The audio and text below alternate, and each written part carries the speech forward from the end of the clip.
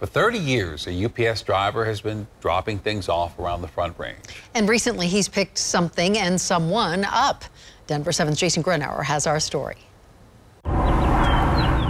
Dave Weingardt doesn't remember his first delivery. And I've been driving down here for a long time. He probably can't pinpoint many specific drop offs at all. I've been with UPS for 31 years. Thousands of packages on and off his truck left all over Colorado. I'm a swing driver, and which is doing different routes. That's how I met Caleb was was swing driving out in his area in Franktown. That's the day he picked up something a friendship. Caleb came into my life at that point for, for a special reason. A 16 year old boy with a love for the big brown truck. He was born with a congenital brain defect, causes his intellectual disabilities as well as severe seizures. Hi, Cayman. Good job skiing a condition that driver Dave knew very well. My boy was 17 at that time, and Caleb was 16, and it did so many similarities.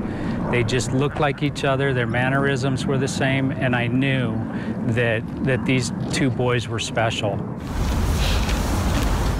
Where'd he go? Dave's son Cayman had a similar condition. The boys became friends until May of last year. Cayman was, was 17 um, last year, the end of March, when, when he passed. He had a seizure, um, and the same seizure he had every each time he had a seizure during sleep and um, this one took his life. Through the heartache, Dave would keep driving, keep delivering to Caleb's house, keeping that friendship going. That UPS truck and especially Mr. David are just the highlight of his day. Caleb feels, he does, he feels like he is my son. Uh, he, he, and I, that's why he came into my life, I think. He, he's, he's filling a void for me.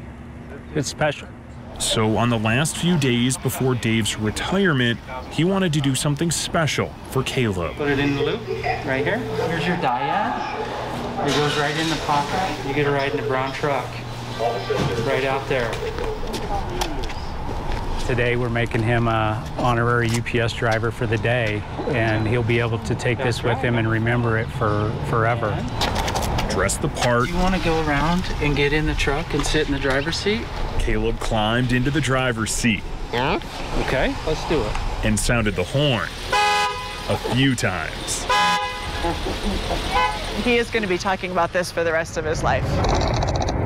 Dave then took his protege out to make a special delivery. This is from your honorary UPS driver of the day. To Caleb's mom, of course. Thank you, Mr. UPS driver. Do I get a hug? A hug.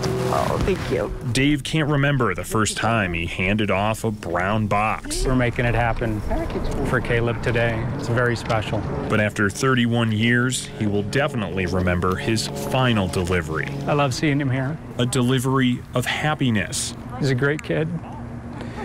And we need to give these kids everything we have. To someone he now considers family. Right here, buddy. High five. Thank you. In Englewood, I'm Jason Gruenauer, Denver 7.